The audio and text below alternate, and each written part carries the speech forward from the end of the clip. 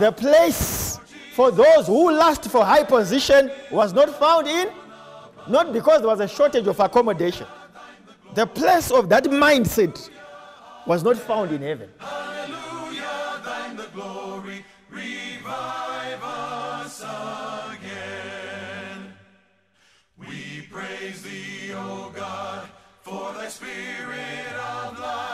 Who has shown us our Savior and scattered our night. Hallelujah, the I'd like to greet you all in Jesus' name. Let me repeat that. I want to greet you all in the name of Jesus Christ. I'm so grateful to the Lord for bringing me into South Africa, Johannesburg, in this particular church to share the word of God with my brothers and sisters who are awaiting the second coming of Christ. Amen. I'm also reminded tonight that uh, there are people who are watching this telecast uh, in a number of countries. They tell me over 20 countries have access to Isambulo TV. So we would like to greet our brothers as well in um, uh, Uganda, the DRC, uh, in Botswana, Namibia, Zambia, Zimbabwe, um, Malawi, and many other places like Mozambique. I want to thank God for Isambulo TV. God has used them to create a platform for reaching out to many nations. What do we say, my brothers and sisters? Let us keep praying for them that God may give them more ideas to advance the word of God. Um, we have an exciting topic today. We carry on in the same vein as yesterday. The overall theme or topic the sinister practice of church politics. But the subheading for today, I'm going to focus on Judas Iscariot and the three angels' messages.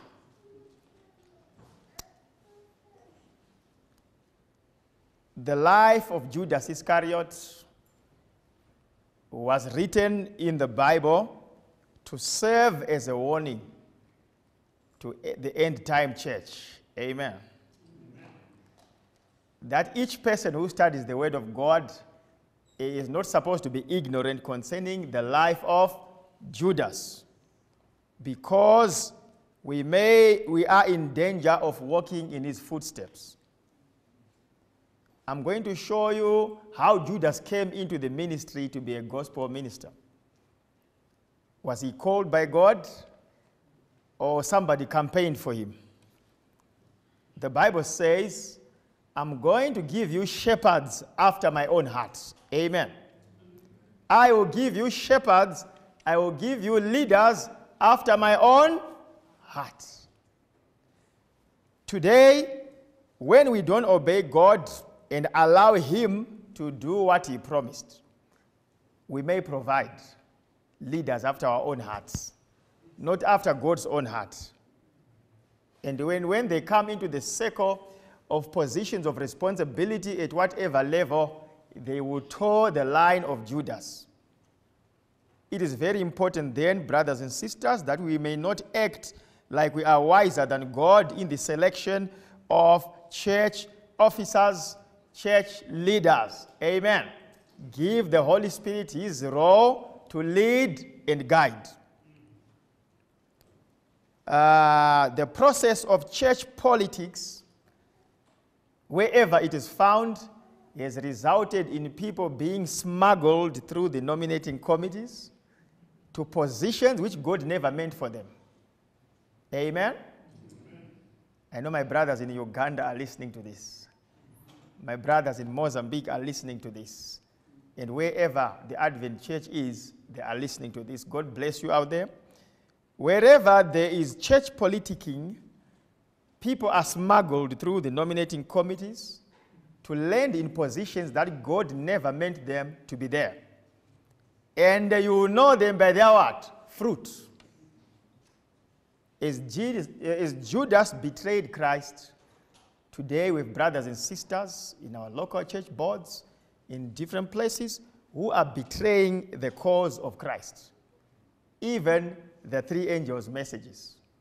In some congregations, it is now rare you hardly hear a sermon on the three angels' messages. Are you with me? Why? We're going to discover today. Let me walk you through a number of quotations in the Spirit of Prophecy books. One of my favorite books, they being The Desire of Ages.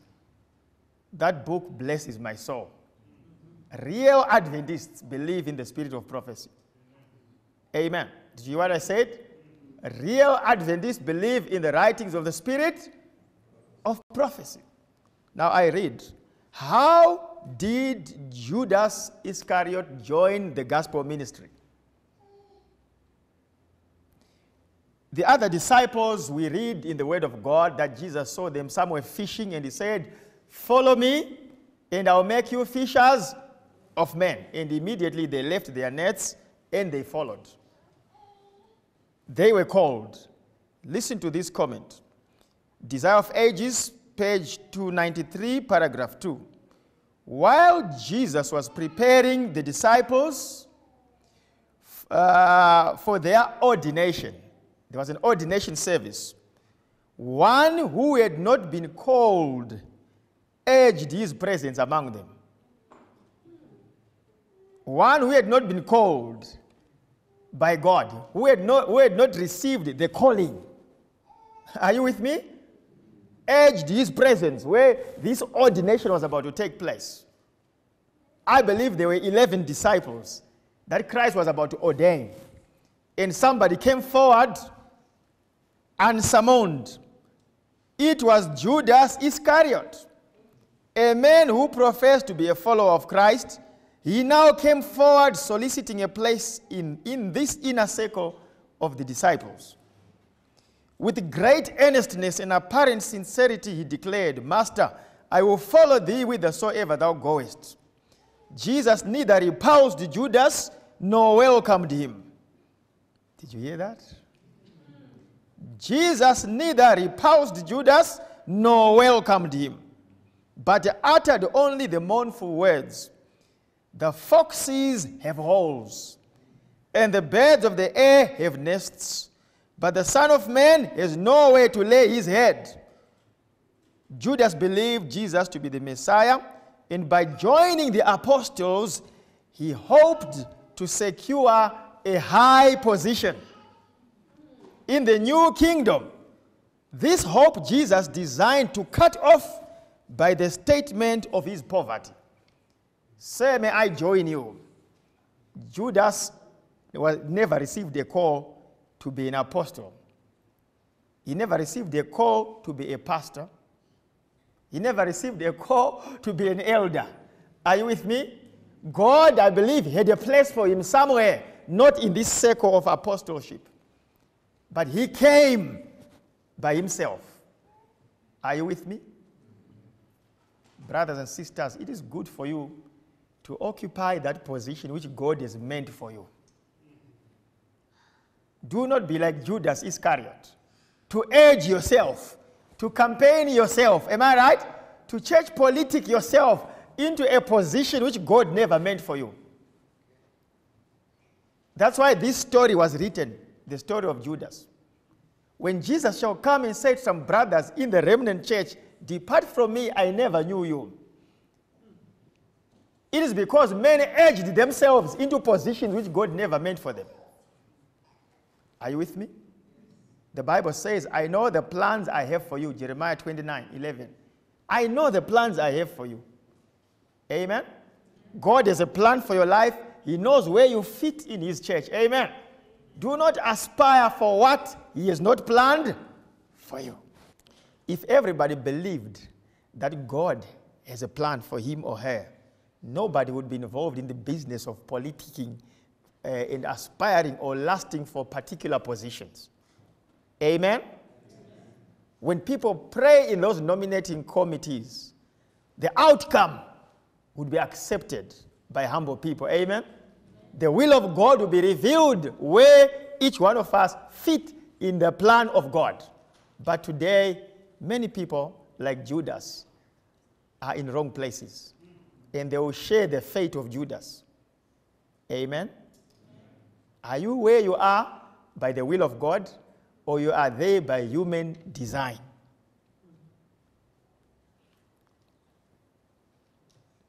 Judas came because his eyes were focusing on a high position. Did you hear that? That is why he joined the ministry. That is why he came to be an apostle. Are you with me? Christ taught his disciples and spelled out his mission to them. The Son of Man is not come, I mean, the Son of Man is come to see is come to seek and save that which was lost. Therefore, come, I'll make you fishers of men. So all the eleven knew why they were called. Amen. To seek for souls. Judas was a pastor or an apostle or an elder with another mission. A mission not to seek and save the lost. Are you with me? Is it possible that you could be an elder or a deacon or a church member with another mission different from the Advent calling, the Advent mission that Christ gave to us?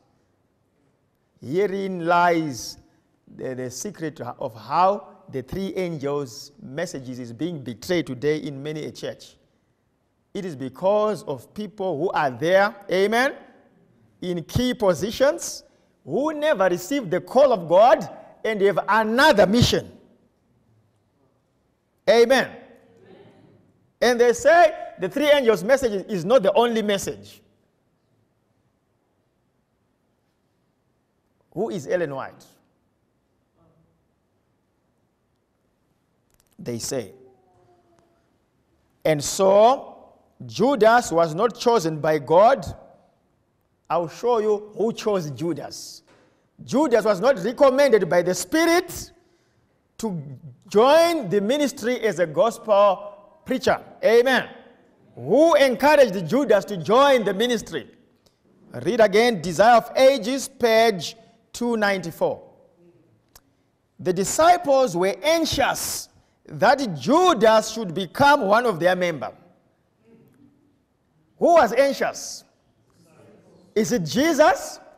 Is it the Holy Spirit? The disciples, the 11, uh, were anxious that Judas should become, should become one of their member or he should also join the apostleship. He was of commanding appearance, a man of keen discernment and executive ability, and they commended him to Jesus as one who would greatly assist him in his work. They were surprised that Jesus received Judas so coolly, neither welcomed him nor repulsed him. He only said, The Son of Man has nowhere to lay his head. Foxes have holes, birds have nests. Having read the heart of Judas, that this brother has joined the ministry, he has taken up this position for material benefit and for status. So that statement was meant to discourage Judas from joining. But the disciples urged uh, you know, his name upon Christ and strongly recommended that please Judas should be one of us. Are you with me? There are lessons to be learned here. When we go into those nominating committees, don't argue with Jesus and the Holy Spirit. Let him do his will. Ours is to submit. Amen. Don't bring names prescribed. Amen. And to urge them upon the nominating committees to take certain names. Let the Holy Spirit indicate who should be where. Amen. So they urged upon Jesus. Judas should be included. They presented their reasons and arguments. He says, Now, uh, I carry on, Desire of Ages 294. Had Jesus repulsed Judas, the disciples would have questioned in their own minds the wisdom of Jesus. they would have doubted whether Christ was the real Messiah. For Judas was a popular young man in the community where Peter and the like grew up.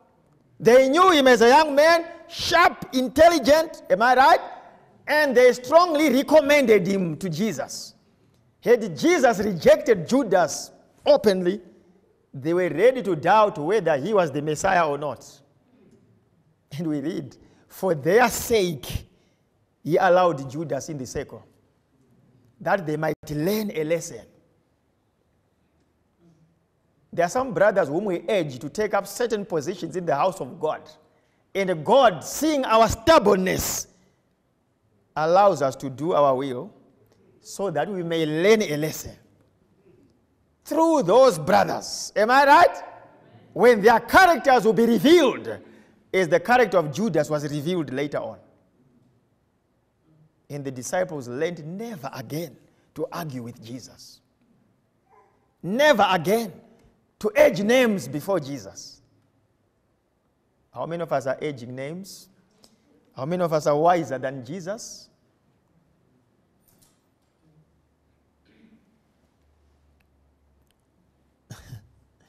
the history of Judas would show them the danger of allowing any worldly consideration to have weight in deciding the fitness of men to work for God.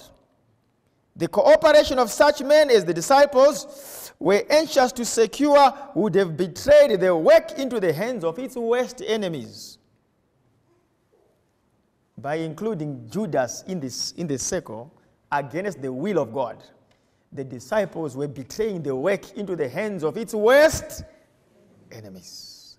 In these last days, brothers and sisters, I want to warn you we are in danger of brethren and sisters who are not of God's calling hand, handing over the cause of Christ into the hands of its enemies.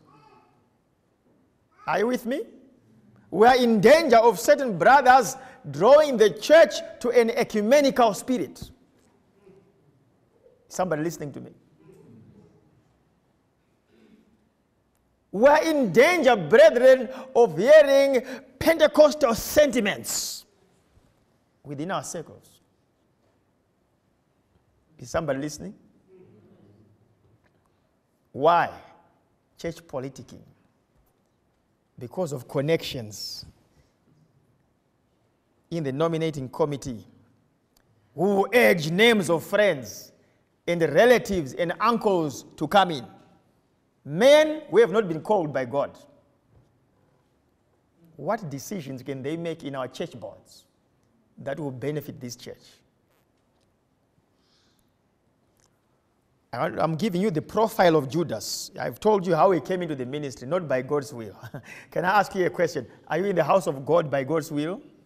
How did you come in? Why did you come?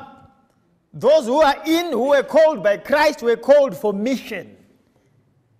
As Jesus called the 11 for a mission of soul winning.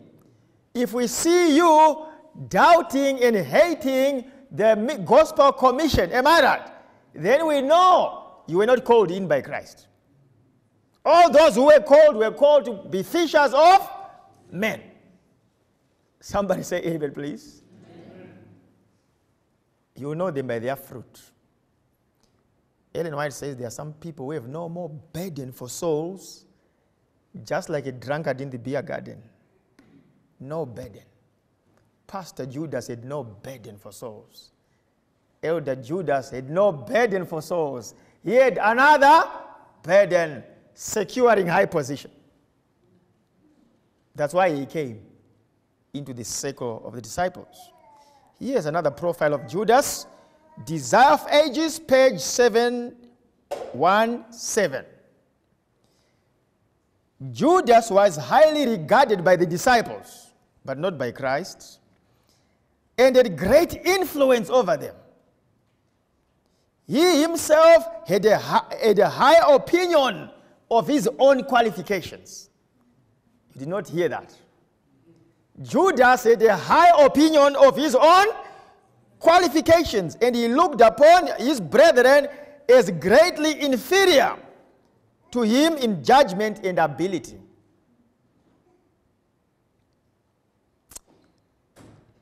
He accused them of not seeing their opportunities, he thought, and not taking advantages of circumstances. the church would never prosper with such short sighted men as Peter, John, James, and the like, according to Judas. Judas summed up all the disciples and flattered himself that the church would often be brought into confusion and embarrassment, embarrassment if it were not for his ability as a manager.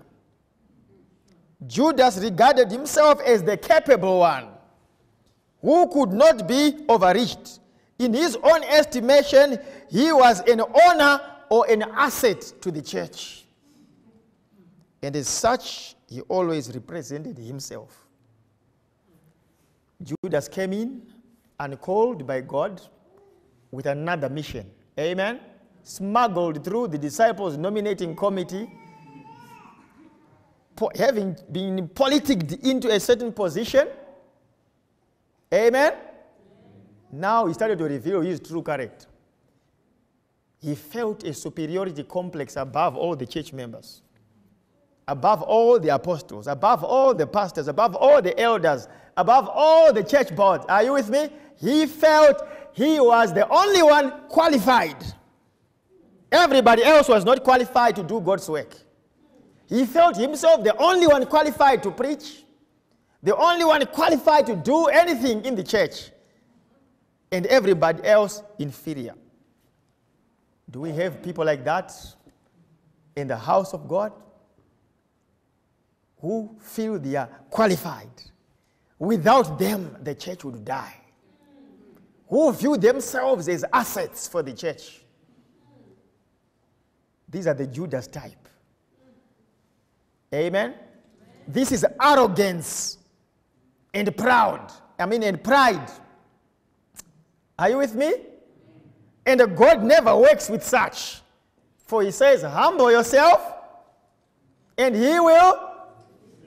Where did Judas get this kind of mindset? Remember yesterday? Lucifer, the first church politician. You said in your heart, I will ascend above all the angels.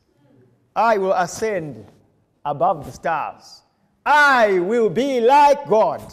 So when the devil fell into this earth, he came to look for men to recruit in his own image and after his own likeness. And Judas is one of the recruits. I want to be above my fellow brothers, to have the highest seat. Am I right? I, Lucifer said, I'm the only one who is able to bring real happiness in heaven. God's laws are unfair. And Judas says, I am the only one qualified to see this church successful.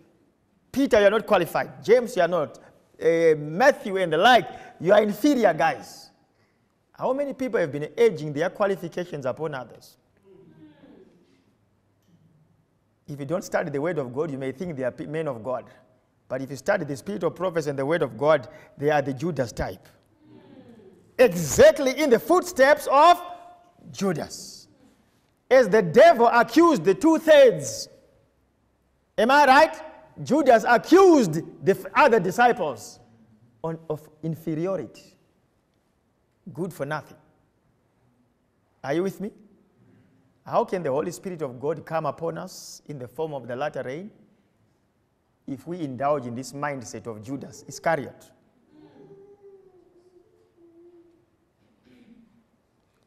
The Bible says, Let each man esteem the other as better than himself.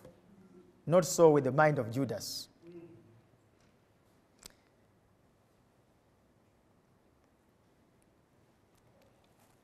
I'm the only, only one who is qualified. All of you are unqualified. He, an, he had an exaggerated sense of his self importance, an exaggerated sense of his own abilities. Am I right? I've seen people somewhere who end up running the church as if it's their backyard, back, you know, backyard, as if they own it. Am I right? Judas was that type of a person. I will tell you more.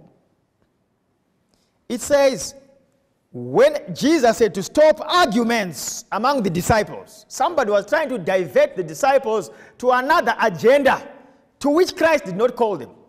I have called you for soul winning. I've called you for the three angels' messages. Amen. I have called you to take the gospel to all the corners of the earth.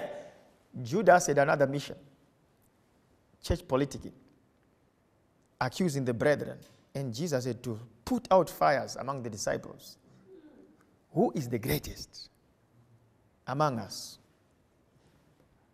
Listen to this. Luke 9, verse 46. Luke 9, 46 says, An argument started among the disciples as to which of them would be the greatest. Jesus, knowing their thoughts, took a little child and had him stand before, beside him. Then he said to them, Whoever welcomes this little child in my name welcomes me. Whoever welcomes me welcomes the one who sent me. For it is the one, for it is the one who is least among you who shall be the greatest. And the spirit of prophet says, It is Judas who introduced the argument. Who is the greatest amongst us? Because this guy came into the church, came into the ministry, came into the uh, uh, uh, uh, position of responsibility, focusing on high position. So he wanted to make sure everybody agreed that he was himself the greatest. He was the one who was qualified above everyone else. And Jesus said to stop the argument. Guys, the greatest among you should be like this little child. So Christ was trying to turn the attention of the disciples to humility. Let this mind be in you, which was also in Christ, who was, who, did, who, who was equal with God, but never thought that equality with God is something to be grasped. He humbled himself, made himself of no reputation, took the form of a servant to serve. Amen. So Christ was diverting the minds of his disciples back to what he called them for to be servicemen of God. And the Judas wanted to divert them who is the greatest. To me, that's part of uh, politicking for high positions. Whoever is lasting for any position in the church, I see you as a Judas type among us in the church of God. I don't care who you are, what your title is. Are you, are you with me? I don't care what papers you hold, how educated you are. Those who are truly educated are as humble as Jesus. Those who have been falsely educated are as proud as Lucifer and are the Judas type, focusing on high positions when our master focused on low positions. One guy kept on saying, Who is the greatest? And he convinced all of them that they were inferior. And he made them believe that he was the greatest. He made them believe they were good for nothing. And made them believe that he was the only one in asset. If the church of Christ was to be successful, it had to depend on Judas. And Jesus humbly corrected that position. So, can you see as G- Judas walked with Christ, his influence among the disciples to divert them from mission? Amen. To divert them from their calling. Amen. No wonder why not much souls were won during Judas' time. We see more souls, Acts of the Apostles, when Judas was gone. Because the disciples were preoccupied with politicking for positions. As Judas harassed them, am I right? Why are we not preaching the three angels' messages effectively? What's preoccupying us? What's our burden? if we are going to pray for revival, is it? Let's just let's, let's not just talk about revival and pray for it. We have to correct certain things. Amen. To repent from certain habits and thought patterns and lifestyles in the house of God. If you are a Judas type and you won't repent, I tell you, the church will be successful after you are gone. I'm coming to it. After you are gone, the church will grow fast. There will be big baptisms after you are gone. Judas, the apostle who loved money. Desire of Ages, page 716. Judas had, had naturally a strong love for money, but he had not always been corrupt enough to do such a deed as this. He had fostered the evil spirit of greediness until it had become the ruling motive of his life. The love of money overbalanced his love for Christ through becoming the slave of one vice he gave himself to Satan to be given to be driven to any length in sin. But Judas did not come to the point of surrendering himself to Christ. He did not give up his worldly ambition or, or his love of money while he accepted the position of a minister of Christ he did not bring himself under the divine molding he felt that he would retain his own judgment and opinions, and he cultivated a disposition to criticize others and to accuse them. Judas came into the ministry for two things high position and the cash. Did you hear what I said? His burden was not the three angels, his burden was not soul winning. He came into the church, edged himself unbidden he saw a door of opportunity for making money by aspiring to be an apostle. His friends, blind to his motives, urged him to be taken as one of the leaders. Brothers and sisters, God allowed Judas to come into the circle for the sake of the disciples to learn. Amen. Never ever prescribe names to Jesus. He is the owner of the church. He died for it. He knows who fits where. You don't know anything. I told you about the Amen committee yesterday, is it? Those who just say Amen. Is one or two are mesmerizing them and dominating them. Am I right? Never again should you listen to a man in any nominating committee urging a name prescribing. Let every man be persuaded in his mind. Pray to the Lord as he convicts you. Choose a person. Don't say because so and so said, therefore so and so will do. You never know the connections. Somebody may be an advocate of a friend or somebody out there. And that is how Judas got into the circle of the disciples. So he says, Judas, as Jesus taught other disciples, they were being molded after Christ likeness. Judas retained his own judgment and opinions, independent of all the teachings of Christ. Do you get what I'm saying? He never bothered about what Christ was saying. As Christ taught humility to be as humble as a child, Judas dismissed it. He remained focused on high position and money.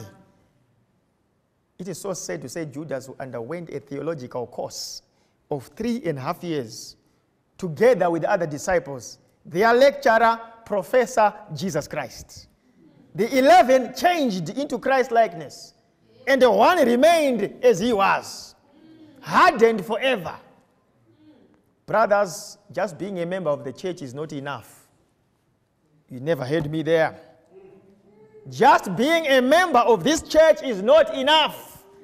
On top of that, yield to the teachings of Christ be molded after Christ likeness. There are those who have been in the church for years. They are still the same persons they were even before they came into the church. While others are changing and are being molded, they are becoming worse and worse and worse. So was Judas. Oh, the three and a half years of theological training at the feet of Jesus were wasted. Amen? Judas knew all the hermeneutics. Judas knew all the homiletics. Judas knew all the Hebrew and the Greek. But he was not changed in character by all that knowledge.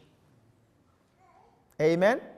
While the 11 were changing, he was being molded after the likeness of Satan. This story was written as a warning to the final day church. Some are changing by grace. Are you the same man? Are you the same woman? Yield to Christ.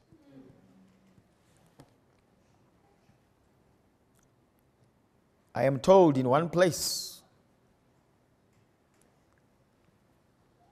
there was a plan to have the Lord's communion. And uh, the elder in that place had suggested that he was going to be away.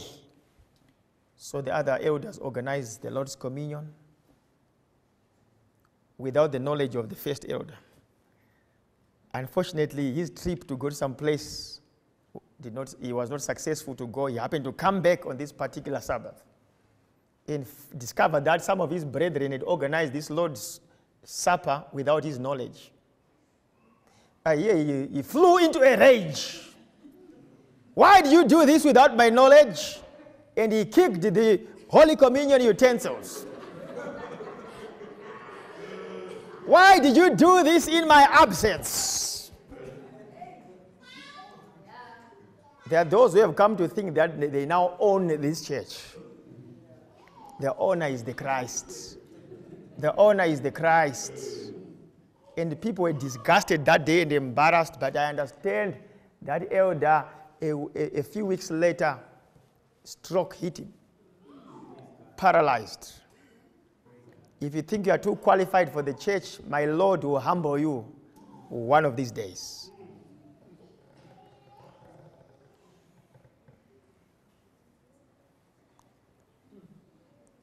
He came unaged with an agenda of greatness, high position, love of money.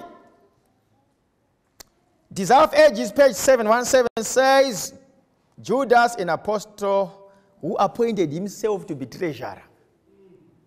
Did you hear that? He was not appointed to be the treasurer of the group. He edged his qualifications and he proved that, look, I'm the only one who's qualified to do accounts and balance the figures. Peter, can you? A simple fisherman? You, a tax collector, you are inferior, every one of you. I am qualified to handle finances. And he landed on the bag, financial bag, and he carried it. he rigged his way to that position. Let's read Spirit of Prophecy comment, Desire of Ages. As treasurer for the disciples, he was called upon to provide for the needs of the little company and to relieve the necessities of the poor. But while listening daily to the lessons of Christ and witnessing to his unselfish life, Judas indulged in covetous disposition. The small amounts of money that came into, the ha- into his hands were a continual temptation to him. Often, when he, had a little, when he did a little service for Christ, or devoted a little time, maybe for, for religious purposes or Bible studies, he paid himself out of the little fund. In his own eyes, these pretexts where I've worked for God, he served to excuse his action, but in God's sight, he was a thief. Pastor Judas came to steal church money. Somebody say amen. Elder Judas joined the ministry to steal money. That's why he came. His focus was not on mission, but on material gain and status. He was the only one who was driving the latest car, and the other 11 had no car. Just trying to put it into context. He was the only one who was dressing very nicely, exquisite suits and costumes, when everybody dressed poorly. He was taking from the bag. Money that was meant for evangelism, he diverted to his own purposes. When the auditors came to look at the figures, audit, they, they proclaimed everything to be a disclaimer. You know, a disclaimer. Figures in shambles, lots of theft here. They, we need a police investigation into this kind of thing after auditing the, the, the, the, the, finances of Judas. Are you with me? I want to know why are you in this church? Did you come for high position? Or the love of money? There were many financial scandals behind the name of, Ju- of Judas, and Jesus knew it. And he volunteered to carry the bag, and he kept on taking there justifying himself. I did Bible studies, so I think that must be 5,000 rand. he calculated the time he spent there and he paid himself. When the disciples would want to go evangelizing, Judas would say, There's no money, guys. The people are not giving. Is somebody listening? How many Judas type of men do we have today? How much funds have gone missing, unaccounted for, which were meant to facilitate the work of soul winning? Judas and the three angels. Judas is dead, but his ghost is haunting many today.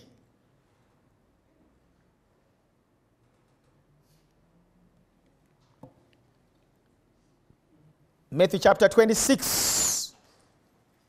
The reason why the three angels' messages is not prospering could it be because of the Judas type of personnel among us? Men with another mission, men with another focus, men with another burden. Are you with me? Matthew 26, verse 6 says, While Jesus was in Bethany in the home of Simon the leper, a woman came to him with an alabaster jar of very expensive perfume, which she poured on his head as he was reclining on the table. And when the disciples saw this, they were indignant. Why this waste? They asked. This perfume could have been sold at a high price and the money given to the poor. Aware of this, Jesus said to them, Why are you bothering this woman? The comments of the spirit of prophet say, It is Judas who whispered among the disciples, What a waste. This oil or perfume was imported. Immediately, he calculated the monetary value of the, of the oil in the perfume and he saw several millions. And he said, What a waste, what a waste. And everybody said, What a waste, what a waste. what a waste. Judas considered giving precious things to Jesus a waste. Judas told the other disciples that giving millions to Christ is a waste. That is why today evangelism is being starved today. No means for soul winning, no means for big campaigns. Am I right? Because Judas hates to see funds poured at the feet of Jesus. Are you a Judas tonight? Where are you pouring your funds? Everywhere else except at the feet of Jesus. Jesus had the real challenge. When we fast track some brothers, smuggle them through the nominating committees to occupy key positions, the church suffers. Are you with me? The church is bewildered with many problems. The problems were not coming from the 11 who were called by Christ. They were coming from one who was not called, but was put by men in the circle. Can I speak very plainly here? An elder who has not been called by God is a problem in the church. A Dorcas leader who has not been called by God is problematic. So is a pastor who has not been called by God, he gives headache to the people. But the, the, the 11 who were called, they are a blessing. Jesus said, Let them grow together. The wheat and the tares will separate them at the time of harvest. Before we pray for revival, let's know what our sin is and repent from it. Let's allow God to do His will. Let Him appoint whomever He wills. Amen? Amen? When David was appointed to be king, nobody thought he could be king. Even Eli, I mean, the, the priest Samuel, thought the elder brothers could be. But God said, No, God does not look as uh, the way, He does not see the way man sees. You look at appearance, you look at externals, but I look into the heart. All the guys you think are right, I have rejected them. There's a little guy there tending sheep, call him. And when he came, the Shekinah glory shined on his face, and God said, Anoint that one. The way we think is not the way God thinks.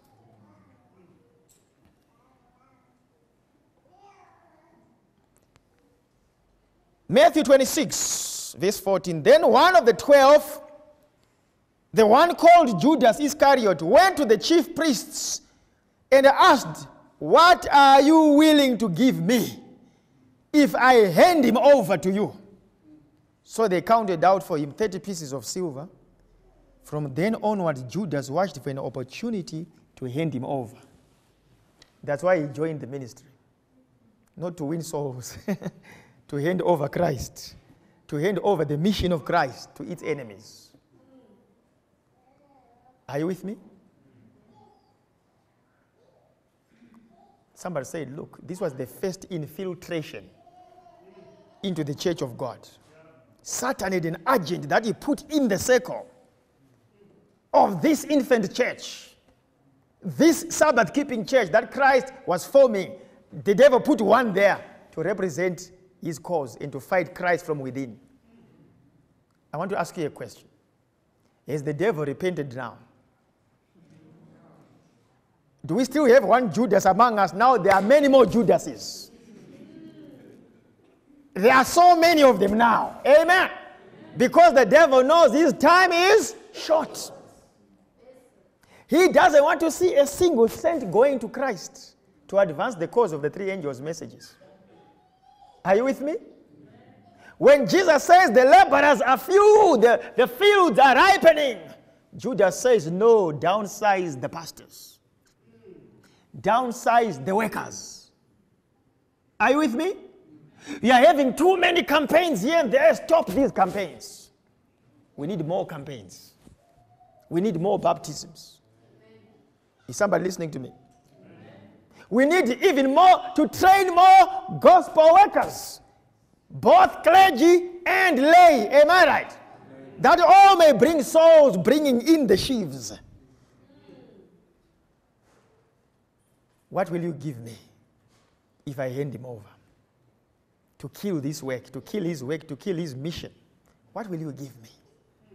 Judas was a man who had two salaries, two pay slips. One from the treasury of the, of the bag that he carried, he paid himself. Then he was also receiving handouts from the enemies of Christ. What will you give me? He came into the ministry for money, collecting without and within. Can you see the facts, my brothers? I, I want to conclude now. One day Jesus said,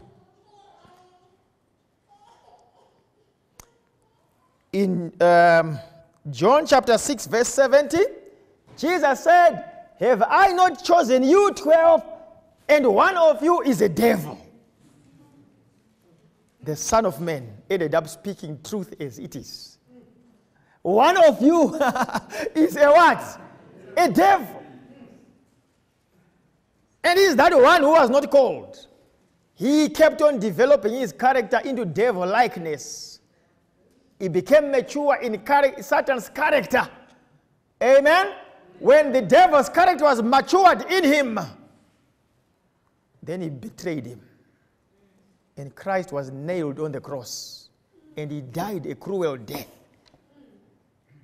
And the disciples were shocked for the first time to see the man whom they had advocated to take up the ministry doing this to the master. And Jesus said in his heart, I wanted you to know this. That's why I was, I neither repulsed him nor welcomed him. I knew his heart, but you did not know. Amen? Amen. And Jesus died.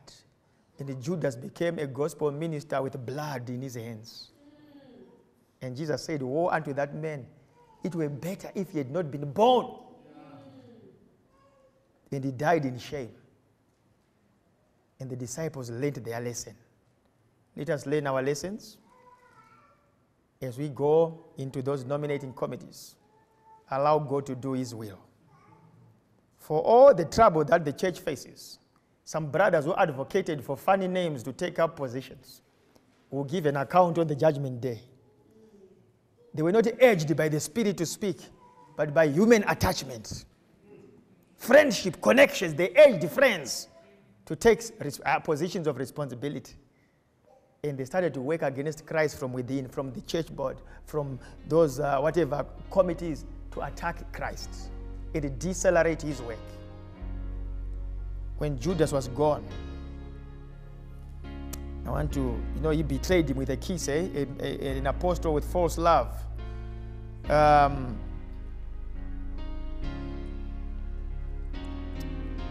Acts chapter 2 is a good record that I love. It's a good uh, po- I mean, uh, uh, point to, to conclude our, past, our message. Acts chapter 2, verse 1, going downward says, And when the day of Pentecost was fully come, they were all with one. For the first time when Judas was gone, there was one accord among the disciples. Nobody saying who is the greatest. No one saying I'm more qualified than you. Amen. For the first time, they were of one uh, accord in one place. There was a season of prayer there. Am I right? Verse 2 Suddenly there came a sound from heaven as of a rushing mighty wind. It filled all the house where they were sitting, and there appeared unto them cloven tongues like as of fire, and it sat upon each one of them. And they were all filled with the Holy Ghost and began to speak other tongues or languages as the Spirit gave them utterance. When Pastor Judas was gone, when Elder Judas was gone, amen. When the head deacon Judas was gone, order came into the church. They spoke one language, soul winning. They fasted for the Holy Spirit to come that they may win souls. Amen. And each one of them received a feeling of the Holy Spirit. Then began the acts of the apostles. Friends, if we are going to have a second Pentecost, we must come to a place of one accord where there will be no Judas among us. So shall the three angels' messages be concluded on a high note. When nobody will be striving for greatness, but everybody striving to be a servant, a serviceman. The Lord will recognize the humility of his people with a special baptism. But Judas has to go first. Are you the man who has to go first before this happens? Are you the woman who has to go first? I wish you could be part of the group. Amen. May the Lord our God help us as we consider this message. We are going to conclude again with a season of prayer. Lord, count me among the remnant workers. Lord, help me not to develop a Judas type of character. Teach me to be content with any position that, that you offer me to serve you. Amen. And help me, Lord, to be a blessing to your church. We are going to pray in twos. Uh, we are going to pray for a special revival. If any person needs to confess anything, perhaps you have been involved in church politics, you have been coveting this position, that position, it's time to say, Lord, forgive me. I don't want to walk in the steps of Judas. Those who are in positions, by God's will, God bless you. Don't lose heart. When God has appointed you, do your work faithfully. Amen. We are only saying do not campaign for a particular position. Let God choose you there. And when He calls you, He will sustain you there. Amen. As the chorus that sings for us, sweet hour of prayer, just one stanza. We shall go in twos. Pray for yourselves, pray for the church. We need a revival in the global church. Amen.